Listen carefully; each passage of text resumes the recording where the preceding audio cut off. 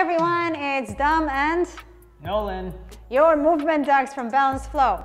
And today we'll be talking about barefoot movement, bare feet, right? So me being a female, I honestly always wore shoes, and I didn't know that, that were too narrow and too small for me. And I was trying to play around with the barefoot stuff, but I don't think I gave it a good enough effort, and it hurt my feet. So what's your opinion on the whole topic?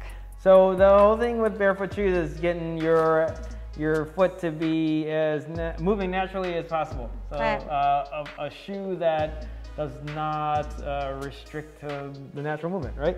Uh, and usually there, there's a, a few things. There's like three things that that I, I really look for in a barefoot shoe. Um, these are some that I've worn, but uh, so there's not a really thick sole. Uh, so you, you can feel the floor. So not like that.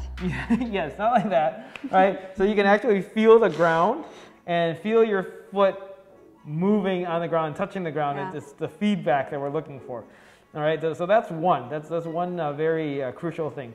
Um, the next thing is what we call heel drop, or um, the difference between the heel and uh, how, how far off the ground the, the heel is compared to the ball of your foot, right? So you, you don't want a huge heel drop like the extreme would be wearing high heels, right? Sure, because sure. then they put your foot in this pointed plantar flex position all Yeah. the time, and that changes everything up the leg. Yeah. Uh, okay, and then the, the last thing we look for is the width of the toe box. And you'll see a lot of people have uh, things like uh, bunions, right? Because the, Yeah. the shoes are too narrow in our society and they end up pushing or bunching our toes together and bunching toes together. And, and then Just you'll like see that. a lot of ladies get bunions because they're, they're trying to jam their feet into this little pointy shoe, right? Which we Yeah. think look, look good, right? Um, but what in truth, that changes how your foot functions. okay? So, like, last question, because I had a few patients ask me this. Uh, when is a good time to start wearing those? I had a patient who was asking if he should get shoes for his kid who's starting to walk.